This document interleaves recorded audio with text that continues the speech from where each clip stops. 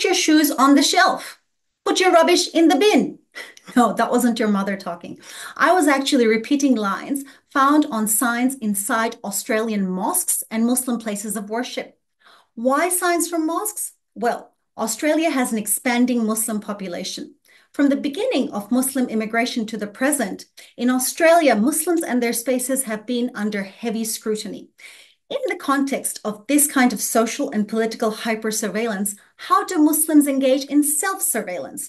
One of those ways is to use regulatory signs, and I wanted to find out how. What languages do these signs use? What linguistic and visual strategies are employed to convey rules and regulations?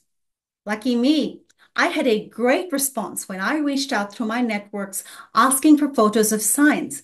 I used a method called citizen science, which involves using members of the public to contribute to your research, in my case, data collection. Once I had these great photos, I used a framework called linguistic landscape to identify the different languages used, and I also recorded the linguistic and visual strategies. Guess which language was used the most? English. You see, Australian Muslims are culturally and linguistically diverse and do not have one community language in common. So English is the language that they use to communicate with each other and it is their lingua franca. In the rare instances where Arabic was used, it was used in conjunction with verses from the Quran to pull at the Islamic identity of the readers to remind them of their religious duty to follow rules. In other situations, they were reminded of their greater social responsibility. For example, parking legally outside the mosque so that the mosque does not get complaints. They also used polite words like please and thank you to encourage readers to follow rules.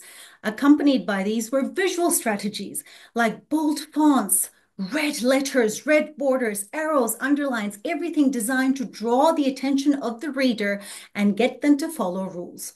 Overall, the language of the signs reflected the language of surveillance, strong self-regulation practices related to behavior that are specific to Muslim spaces. Who knew that a sign could tell you this much about a community, about their history, their context, their languages, and their understanding of their place in society.